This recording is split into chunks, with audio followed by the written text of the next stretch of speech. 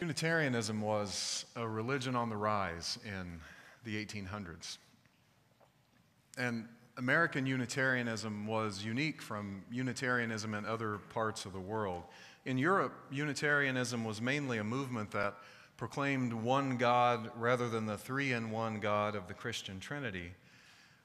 But Unitarianism came to have uh, its identity in the United States largely as a counter to the hateful brand of Calvinism that was so prominent early in the United States history. That Calvinist Christianity taught that God chose who would go to heaven and who would go to hell before people were born, that a fiery pit awaited most people after they died, and that the only way to know whether you were going north or south was whether you did good works in the world. Hence, and this is a little bit of a rabbit trail maybe, the creation of the Puritan work ethic. Take God out of that equation, and it's not so far from the current state of American culture. The busier we are, the more righteous we are seen to be, while the misfortunes of the poor are blamed on their lack of work ethic. Puritanism dies hard, but I digress. The Unitarians had a life saving message that was tailor made for their time. God is not hateful, but loving. You are not sinful, but full of potential. And God is found not up in the sky someplace, but in each of us, in and between and around us. But while the content of Unitarianism was energizing, the forms into which that content was poured weren't always so jazzy. Unitarian preachers and theologians used obscure Bible verses to prove their sometimes convoluted theological propositions. Ralph Waldo Emerson took to calling his fellow Unitarians corpse cold. Around the, some of us still haven't forgiven him for that, by the way. Around the 1830s, the transcendentalists, both here and in Europe, began to argue that people didn't need biblical proof texts or other religious forms any longer. As Jeff, Jeff Wilson wrote in uh, our denomination's periodical magazine, Unitarian Universalist World, a few years ago, the central tenet of the rising transcendentalist cadre was that human beings contained within themselves a mysterious internal principle that guided them toward religious truth, an intuitive capacity more profound and reliable than scriptures, ecclesiastical institutions, or traditions. This spiritual sixth sense pointed toward transcendental truths such as the universal kinship of people, the ability of the human individual to commune directly with the divine, and the presence of the sacred in the manifestations of the natural world.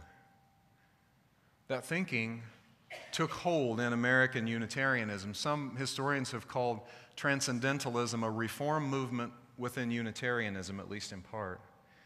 Unitarian ministers began denying Jesus' miracles. They took on texts other than the Bible. Some of them started communes. You can read about that, sometimes wacky history. Transcendentalists formed clubs and held salons to debate their ideas. And the Transcendentalists had influence over some of the most important institutions in America. Famously, in 1838, Ralph Waldo Emerson was invited to deliver the commencement address at Harvard Divinity School. The Divinity School there had become an important center for Unitarianism, and there was all this tension between the old school, exclusively Christian, Bible based Unitarians and these upstart transcendentalist Unitarians. Emerson, who would soon leave Unitarian ministry, in fact, in the time between accepting the invitation to speak and speaking, he left Unitarian ministry. But so he came in all hot and bothered and charged he used his address to preach transcendentalism to the graduating Unitarian ministers. Here are a couple of paragraphs. I want you to imagine that you're a brand new minister, maybe part of this new movement in your faith, and maybe a more traditional Christian Unitarian. Or imagine that you're a professor, even better, having spent your entire life teaching ministers to model their work on theologians and ministers long dead, maybe even you. And you hear this from Emerson Let me admonish you, first of all, to go alone, to refuse the good models, even those which are sacred in the imagination of men, and dare to love God without mediator or veil. Friends enough you shall find who will hold up your emulation uh, to your emulation, Wesleys and Oberlins, saints and prophets. Thank God for these good men, but I say I also am a man. Imitation cannot go above its model. The imitator dooms himself to hopeless mediocrity. The inventor did it because it was natural to him, and so in him it has a charm. In the imitator, something else is natural, and he bereaves himself of his own beauty to come short of another man's. This is a great line. I, I haven't yet found a way to use it. Yourself a newborn bard of the Holy Ghost. Isn't that great? Cast behind you all conformity and acquaint people at first hand with deity. Look to it first and only that fashion and custom and authority and money are nothing to you, but live with the privilege of the immeasurable mind. End quote. He was asking all those newly minted ministers if God is everywhere, including mostly in you, why look to sources outside yourself? Why not find the divine within, where it clearly resides? And why not point people in the congregations you're about to go serve into themselves for guidance, for a connection to the holy? Now, I think there are good answers to that question. Why not? I, I've had some dingbat ideas. No amens here, please. And I'll bet you have too. And it helps to be in a community of people who can lovingly suggest that, hey, that's a dingbat idea. Maybe by voting. Or worse, that's an action that is hurtful. And two, let's be real. This is my line on Emerson. I think I've said it to you before. Emerson preached about not listening to preachers to rooms full of people who had gathered to listen to him preach. he got paid to do that, as a matter of fact. Thoreau, yes, spent a lot of time alone at Walden Pond, but he also went into town now and then to have somebody else cook for him and do his laundry. Human beings simply cannot live on our own. We need one another. There was some degree of hot air being expended by these people. But what was at the core of their message was life saving and remains true. It is what is at the center of modern day Unitarian Universalism, too, I believe.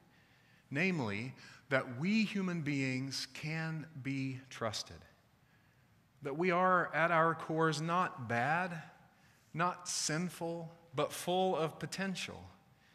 We know how to pursue the good and right inherently in the right environment. We can be trusted. For me, over a decade ago, that was the saving message of Unitarian Universalism. I was raised in a religion, as many of you know, in which I was repeatedly told that God was going to burn me alive for eternity. They didn't say it that way, I do. For just about every fun thing I ever did or wanted to do drinking, swearing, sex, gambling, not praying enough, not reading the Bible enough, arguing with my parents, reading too many books that weren't the Bible, dancing, and sex again. I even, I even got into trouble uh, for listening to a cassette tape of Dr. Hook and the Medicine Show in junior high. I know now that I should have chosen a better band to suffer eternally for. It, it seemed like God's main mission was to control us, to keep us from straying from the path, because anything outside that narrow path was fraught with traps and danger. The world and certainly the afterlife seemed like a dangerous place. Because I was born tainted by sin, I was told I couldn't be trusted to find my own way. And that was supposed to make me grateful to this vengeful, meddling God. That religion, it, it, did call for transformation, but it was transformation from the bad person I was told I was, person whom God couldn't even stand to look at without making a sacrifice of his own son to a person who had said the right prayer and could now be accepted in God's sight. Now, maybe most people's religion isn't so upfront about it, but that's the message of a lot of American religious groups. People are bad, God is good. If you beg, you can be forgiven. As you might imagine, that God is in the rear view for me, has been for a long time. But when I was leaving that particularly hateful brand of Christianity, I thought at first I would have to leave all the things I loved about religion the careful consideration of deeply held values, the community that supported me and my family in our toughest times, until I found Unitarian Universalism. In this faith, I felt for the first time that I had room to grow beyond certain boundaries. I felt trusted with my own path. Even though I still longed for challenge and conversation and spiritual growth, I felt the burden of control finally lifted. I still identify as a Christian Unitarian Universalist, but now it's because I value the teachings of Jesus and his martyrdom as a prophet of love. My faith is free from fear. I feel I can be trusted with my own journey. So, that is the kind of transformation the transcendentalists still call us to. Not some divine transformation of our sinful natures, but transformation to a kind of faith, to a kind of living that acknowledges the inherent, inherent worth and dignity of every single person. There is nothing from which we are born needing to be saved. We can be trusted with what is best for us. We can be trusted with our own gender identities and laws telling us which bathrooms to use or what documents we have to carry around are nonsense. We can be trusted to know whom we love, and any attempts to stop people in love from marrying are rooted in that old religious idea of Bible based control. We can be trusted to tell our stories and find our way because all we know of divinity is found not in heaven somewhere, but in the hearts and minds of every single person we will meet. That includes children. That was one of the noticeable changes for me when I transferred into Unitarian Universalism. I spent most of my childhood memorizing the Bible, I, my, the religious part of my childhood. I spent a lot of time memorizing that text. I'm still really grateful for that, by the way, largely because I can see the biblical underpinnings of what goes on in our culture. But the goal was to have me know what the Bible said about how I was supposed to live my life and what would get me to heaven. We here side more naturally with the philosophy described by Khalil Gibran in a reading that's in our hymnal. He says, Your children are not your children. They're the sons and daughters of life's longing for itself. They come through you, but not from you, and though they're with you, yet they belong not to you. You may give them your love, but not your thoughts, for they have their own thoughts.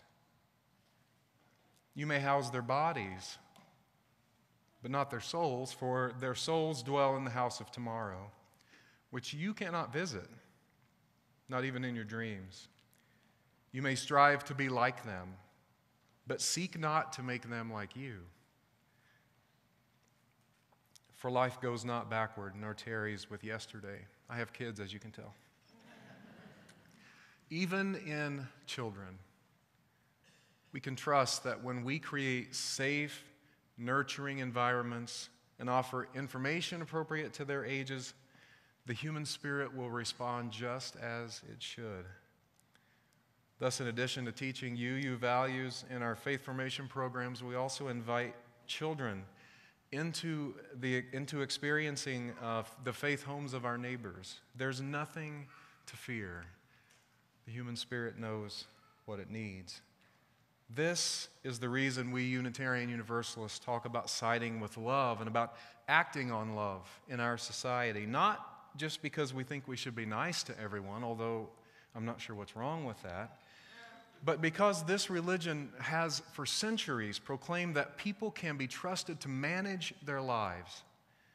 And I'll be honest, sometimes it gets on my little Midwestern nerves. We can tend toward every single person as a special butterfly in the universe kind of thinking.